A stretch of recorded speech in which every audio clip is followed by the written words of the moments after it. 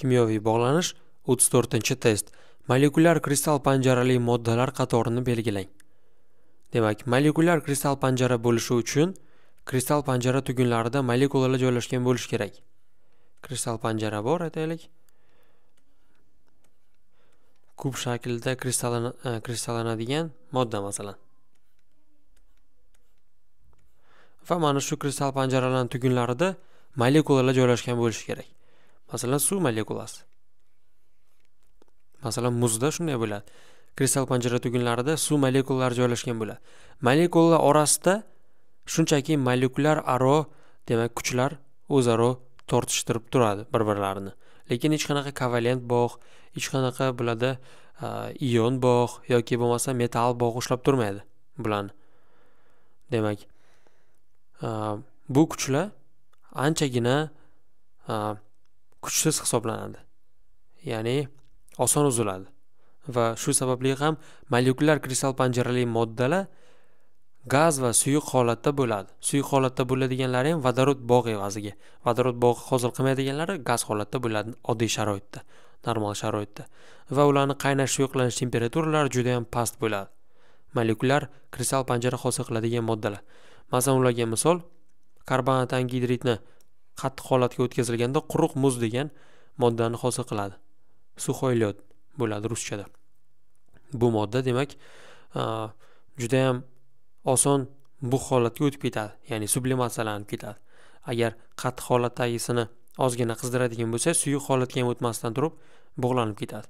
Naftalin masalan xuddi shunaqa organik modda bor uni ham qattiq holatdan birdaniga bu holatga o'tkazib yuborish mumkin. U ham molekulyar modda. Yoki bo'lmasa molekulyar moddalarga ko'pchilik organik moddalarni misol qilish mumkin. Masalan benzol molekulyar kristal panjarali modda. Demak molekulyar kristal panjarali moddalarni xossalari oson suyuqlanuvchan uchuvchan gaz moddalar va suyuqliklar ham bo'lishi mumkin. Vodorod bog' hosil qila oladiganlari demak xossalari shunaqa bo'ladi. Ho'p birinchi javobga qaraymiz. Natriy xlor bu osh tuzi va ftor berilgan.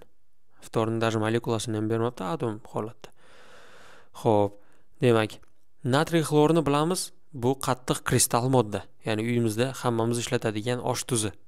Bu tuzlar kristal moddalar bo'ladi qattiq moddalar. Bular osonlikcha suyuqlanib e, bug'lanib ketmaydi to'g'rimi? Qizdirilgan paytda va juda yam qattiq moddalar bo'ladi.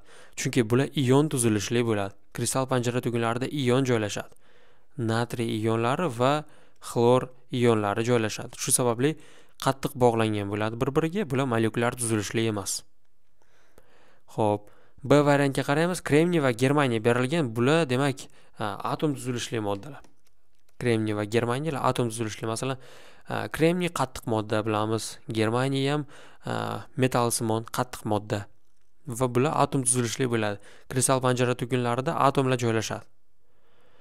Demak bular gaz gazsimon bo'lmaydi hech qachon. Kremniyni birikmalari ham atom tuzilishli bo'ladi ko'pincha. Masalan e, kremniy to'rt oksidi yoki kremniy karbid.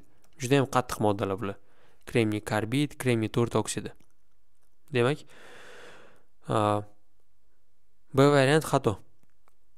S variantga qaraymiz. Karbonat angidrid va kremniy berilgan. Bu ham xato chunki kremniy bor. Lekin karbonat angidrid molekulyar kristal panjara hosil qila oladi mana bu quruq muz holatda. Quruq muz holatda. Chunki bu molekulyar tuzilishli modda. D variantga qaraymiz. D variantda demak plastik oltin gugurt va demak ozon berilgan. Bular ikkalasi ham molekulyar moddalar. Molekulyar moddalar demak plastik oltin gugurt ham va ozon ham molekulyar moddalar. Ozon bilamizki gaz bu plastik oltin gugurt suyuqlik bo'ladi. Demak ushbu molekulalar masalan oltin gugurtni molekulasi sakkizta oltin yogurt atomidan iborat bo'ladi va bu molekulyar modda. Ozon ham xuddi shunaqa molekulyar modda. Demak uchta kislorod atomidan iborat bo'lgan. To'g'ri javob d bo'ladi bu yerda.